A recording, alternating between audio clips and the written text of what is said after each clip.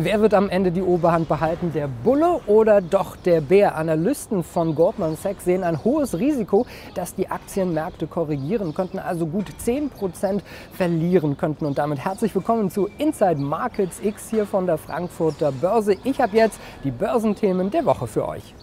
Diese Sendung präsentiert Ihnen Markets X, ein Partner der Trading House Börsenakademie.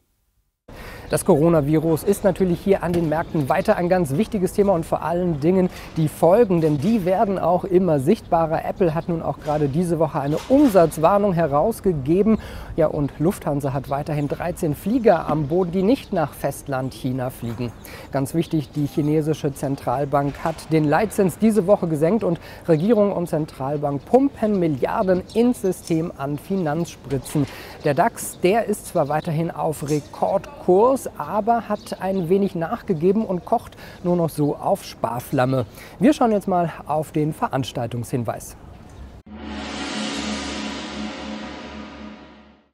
Wenn ihr euer Börsen- und Tradingwissen vertiefen wollt, dann schaut doch auf die kostenlosen Börsenseminare der Trading House Börsen Akademie.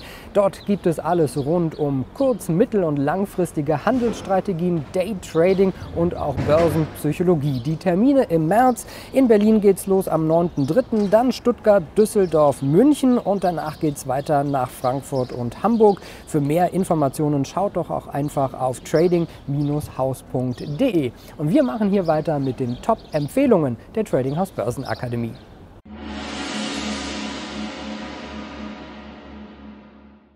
Gold gilt ja als sicherer Hafen und das zeigt sich auch gerade wieder bei den ganzen Unsicherheiten, die wir durch das Coronavirus in den Märkten sehen. Ja, das Edelmetall bei Anlegern momentan wieder recht beliebt. Geht das so weiter, könnte Gold an die Jahreshochs anknüpfen und das übergeordnete Mittelfristziel abarbeiten. Die Analysten der Trading House Börsen Akademie sehen Ziele bei bis zu 1700 Dollar, wenn einige Widerstände durchbrochen werden. Unsere Aktienempfehlung ist Airbus. Bei Airbus sind die Analysten weniger optimistisch und setzen die Aktie des Flugzeugbauers auf Short. Bestellungen aus Fernost könnten ausbleiben. Auftrieb gibt es momentan wenig. Geht die Aktie unter den 200-Tages-Durchschnitt von gut 126 Euro, könnten die Tiefs vom Dezember bei gut 122 Euro erreicht werden. Beim Unterstützungsniveau von 120 Euro könnten aber wieder vermehrt Käufer in die Aktie drängen. Wenn euch das Video gefallen hat, gebt uns einen Daumen nach oben, liked das Video, kommentiert, postet es und ich freue mich auf nächste Woche. Happy Friday! Diese Sendung präsentiert Ihnen Markets X, ein Partner der Trading House Börsenakademie.